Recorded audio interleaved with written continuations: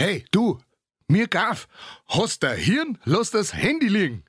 Vor allem, wenn's mit dem Auto oder mit dem Bike fährst. Brauchst bloß 80 Stundenkilometer fahren und schon hast pro Sekunden über 20 Meter Blindflug. Man kann sich gar nicht vorstellen, wie schnell da was passiert. Also, hast der Hirn, lass das Handy liegen.